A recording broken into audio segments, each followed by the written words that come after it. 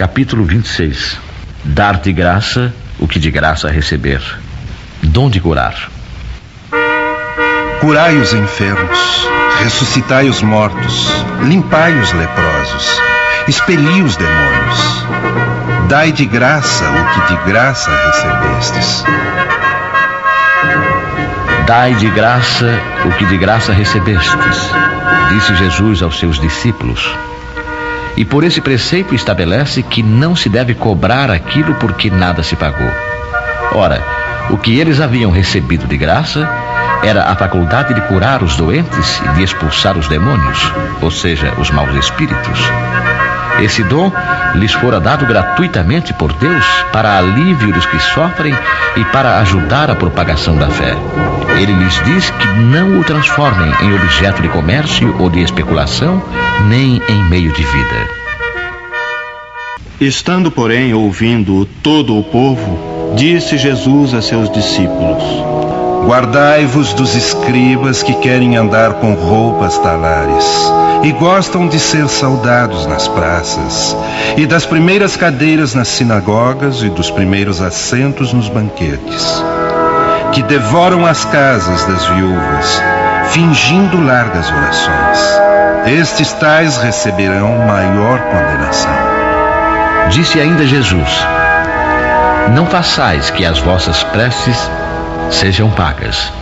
Não façais como os escribas que, a pretexto de longas preces, devoram as casas das viúvas, o que quer dizer, apossam-se de suas fortunas. A prece é um ato de caridade, um impulso do coração. Fazer pagar aquelas que dirigimos a Deus pelos outros é nos transformarmos em intermediários assalariados. A prece se transforma então numa fórmula que é cobrada segundo o seu tamanho. Ora, de duas uma. Deus mede ou não mede as suas graças pelo número das palavras. E se forem necessárias muitas, como dizer apenas algumas ou quase nada por aquele que não pode pagar? Isso é uma falta de caridade. E se uma palavra é suficiente, as demais são inúteis. Então, como cobrá-las? É uma prevaricação. Deus não vende os seus benefícios, mas concede-os. Como, pois, aquele que nem sequer é o seu distribuidor e que não pode garantir a sua obtenção, cobra um pedido que talvez nem seja atendido. Deus não pode subordinar um ato de clemência, de bondade ou de justiça que se solicita de sua misericórdia a um determinado pagamento. Mesmo porque, se o fizesse, o pagamento não sendo efetuado ou sendo insuficiente, a justiça, a bondade e a clemência de Deus ficariam em suspenso.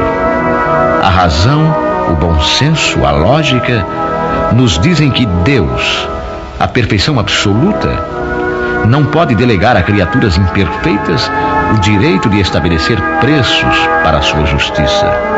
Pois a justiça de Deus é como o sol, que se distribui para todos, para o pobre como para o rico. Se consideramos imoral traficar com as graças de um soberano terreno, seria lícito vender as do soberano do universo? As preces pagas têm ainda outro inconveniente. É que aquele que as compra se julga, no mais das vezes, dispensado de orar por si mesmo, pois considera-se livre dessa obrigação desde que deu o seu dinheiro.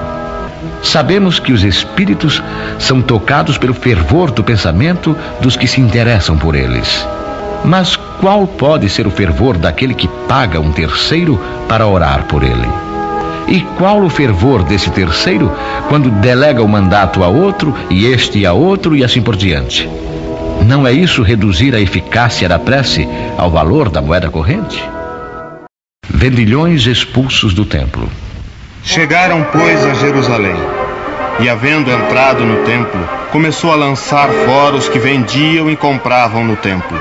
E derribou as mesas dos banqueiros e as cadeiras dos que vendiam pombas. E não consentia que qualquer transportasse móvel algum pelo templo. E ele os ensinava, dizendo-lhes: Porventura não está escrito que a minha casa será chamada casa de oração entre todas as gentes? E vós tendes feito dela covil de ladrões. O que, ouvindo, Os príncipes dos sacerdotes e os escribas andavam escogitando de que modo o haviam de perder, porque todo o povo admirava sua doutrina e tinha medo dele. Jesus expulsou os vendilhões do templo e assim condenou o tráfico das coisas santas sob qualquer forma que seja. Deus não vende a sua bênção, nem o seu perdão, nem a entrada no reino dos céus. O homem não tem, portanto, o direito de cobrar nada disso. Se você gostou, aproveite. Clique no sininho para receber nossas notificações e compartilhe. Quem acredita na paz, divulga o bem.